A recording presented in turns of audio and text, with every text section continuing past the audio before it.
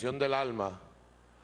Bueno, en primer lugar, quiero felicitar a toda esta juventud hermosa que con dedicación, disciplina y amor profundo por su familia y por su patria, hoy se gradúan de médicos y médicas de la República Bolivariana de Venezuela.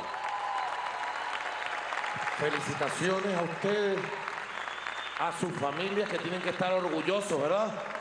Los familiares, sus padres, madres, hermanos, hermanas, esposos, esposas, novias, novios, hijos, hijas, tías, tíos, primos, amigos, amigas.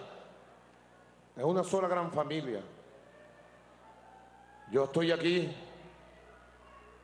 y como se lo dije a algunos de los nueve graduandos y graduandas que acabo de saludar, yo estoy aquí y estando yo aquí está Chávez. Está Chávez con su espíritu, con su amor, porque esta es la obra de Chávez, este es el milagro de Chávez. Jóvenes humildes, de hogares más humildes de la patria, hoy son médicos, hoy son médicas. Gracias, comandante Chávez, por haberle dado tanto amor a esta patria, que ahora te lo retribuye con sus bendiciones y con la obra que está por realizar por parte de ustedes.